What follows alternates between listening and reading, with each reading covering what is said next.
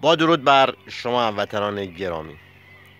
یک سری از این ال اصلاح طلبا میان به ما میگن که به عقاید ما احترام بذارید.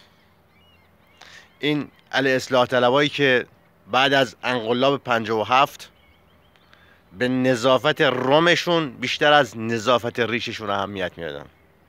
یک مشت پاسدار عقده ای که تا چهار روز پیش میدون سینخیز بچه بازوی دهاتشون بودن یا بچه بازوی محلشون بودن جمع کرده بودن ریخته بودن تو این ماشینا گشت.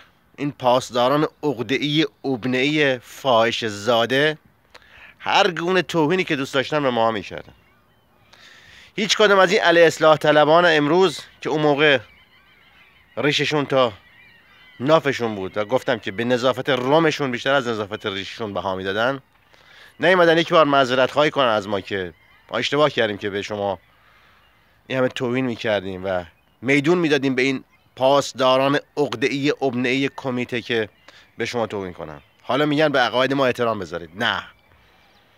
اون عقاید کثیف شما عامل بدبختی مملکت ما بود و هست. و ما اون عقاید رو زیر پا له می‌کنیم.